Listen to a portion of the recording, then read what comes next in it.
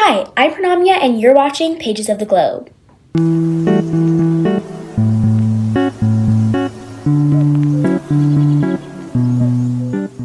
So, if you're new to my channel, basically I just read short stories and poems and then I give you some deep analysis about them. And normally, with the analysis, I also tell you a little bit about the author, um, the time period that the story or the poem was made in, and what the historical significance of it is. And I do really go in depth, especially in poems, I'll go like line by line and just tell you what each and everything means. So, if you are a huge like literary buff, then you will love my channel. Without further ado, let's get on with the story. So, the poem that I'm going to be reading today is One Art by Elizabeth Bishop. Now, this poem is so beautiful. It's about the art of losing, which could be like losing things, losing people, losing names, losing places, just like memory, I guess, losing time. And it's about just mastering the art of losing. And I think it's very interesting. It almost reminds me of like SATC, the show, um, and how all of the women, if you haven't watched SATC, it is, or Sex in the City, um, it's a group of four people, four women, and they're all in their 30s and they're living in New York City. And it's just about their relationships and how they grow and evolve as they're in their 30s and what the dating scene is like and how they just grow their careers and they're all very successful women and it's so interesting and I think while I was reading that poem it very much reminded me of them because at first the poem starts off very like oh well this is you know, this I'm very good at losing things. This is how I do it. This is how I do it, and it's awesome. But then towards the end, you get to a much more like almost I don't want to say sad, but it's a much more like specific feeling that's attached to that poem, and it reminds me of SATC. Uh, one thing that I want to start introducing within my analyses, analyses, I'm not sure, um, but it is like having connections to other pieces of literature, whether that is film, any type of media, honestly, films, um, other books, other shows, other poems, whatever it is. And so another connection, because I do want you guys to, you know, continue to read these stories and poems.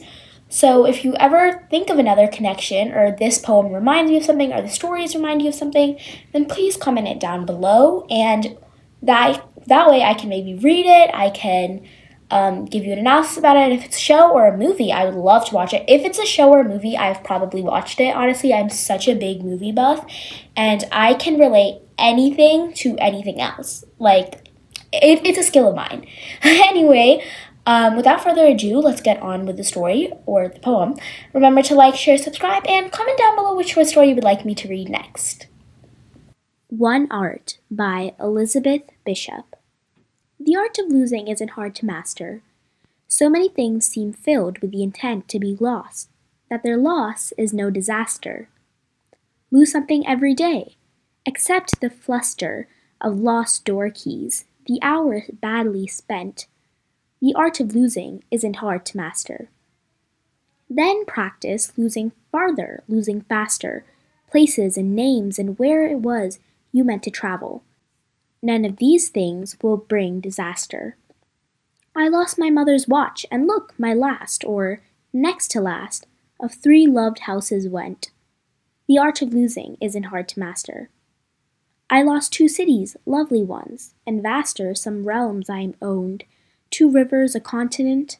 I missed them, but it wasn't a disaster. Even losing you, the joking voice, a gesture I love, I shan't have lied. It's evident that the art of losing not hard to master, although it may look like it. Write it like disaster. The end. Alright, so that was One Art by Elizabeth Bishop. This poem is a villanelle, which is like the style that it's written in, and it's a traditional form that involves sort of fixed number of lines and stanzas, and then it has this intricate pattern of repetition, and rhyme. And through this form, this poem kind of explores just loss as an inevitable part of life. We kind of consider what it means to experience loss over and over and over again, and whether it is truly possible to even master this experience of loss and grief. Now, like I said before, One Art was included in Bishop's final collection of poetry, Geography 3, which was published in 1976. Now, just for a quick summary, what do we really see about? What is this poem about? Well, we read it's not difficult to become an expert at losing things. So many things seem bound to be lost sooner or later that when they actually are lost, it's not really a catastrophe. Now, to get better at losing, the author says just try losing something every day. Accept the frustration of losing your house keys or realizing that you may have wasted an hour of your time. It's not difficult to become an expert at this. And then after this, practice losing more and more quickly. Forget places and names and lose track of, for example, places you wanted to go. This won't cause a catastrophe, right? And then we kind of move to this part where she talks about how she lost two beautiful cities. And even bigger than that, some domains that she owned, rivers and continents. And she misses them, but it wasn't a catastrophe. And then at the very end, she says, Even if I lose you and lose everything that I love of you, this it's this won't have been a lie, basically, is what she's saying. It's clear that it's not too difficult to become an expert at losing things, and though it may may appear catastrophic, right? So, what does it exactly mean? Like, what does this mean? It just it feels sort of you kind of have to dig deeper through this poem, is what I'm saying, to really understand what's going on. So it explores the idea that nothing lasts, and thus, like I said before, loss is just this inevitable thing. In fact, we actually see that the author is claiming that with practice, people can learn to accept and even master this quote unquote art of losing. Now, the speaker doesn't actually seem to be as good as this at like as good at the art. However, because she's lingering on these details of a beloved person she fears losing in a way that suggests she hasn't really mastered anything at all. I mean, to at the very end, she talks about how in losing this person, losing their voice, losing gestures of them that they love, we see that she's kind of showing that in a way she hasn't mastered this art of loss. I don't know, this part very much reminded me of when you're like watching a movie or something and the main couple or whatever have broken up. And normally it's the guy i think but they'll just be talking to their friends not these single people. And they'll talk to their friends and they'll be like oh i don't even miss him or her or whoever. And they'll be like oh i don't really miss him but like you know i still miss her voice her um the how she would comb her hair whatever. Right? And then like as they keep talking about the little details that they love the audience can see that this person is like obviously very much still in love with their ex, I guess. And I think that is just such a powerful moment. And this poem very much pulls it off in a less like movie type of way, but it's still very romantic. Now, at first, we see the speaker evoke kind of everyday losses that readers can relate to.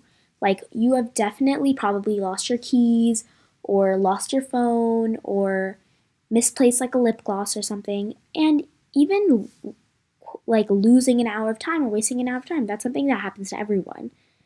And so this emphasizes that loss is just a natural part of life. But then as we progress through this poem we see that the losses are growing in scale. Now we're talking about more abstract concepts like places and then we talk about items of emotional value like her mother's watch and three loved houses. So now we're seeing that the idea of loss is broadening. It's she's relating it to life changes that are inevitable with the passage of time. But the speaker is continuing to describe these losses with the same casual tone. And she's still like, oh, well, you know, it's just a part of life. And it's as though th- these more mundane losses prepare the speaker for leaving bigger and bigger parts of life behind without spiraling into, I guess, disaster. However, this poem also shows the ongoing effort involved in coping with loss. Despite the speaker's detached tone, as losses grow in scale, it becomes harder to take the speaker at her word when she insists that loss is no big deal. In fact, the poem's repetition actually suggests that loss does feel like a disaster to the speaker, since it requires constant work on the speaker's part to claim otherwise.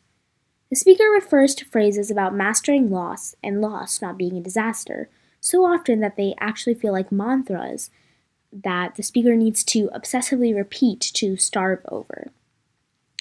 Ultimately, we just see the sense of grief and overwhelming loss implied at the poem's ending, and that sheds new light on the poem as a whole. Where before the repetition might have suggested that the speaker has mastered loss, it can now be read as representing the speaker's ongoing daily work with coping with loss, suggesting that such work is never ending. Now, that is it for today. Remember to like, share, subscribe, and comment down below which short story or poem you would like me to read and analyze next.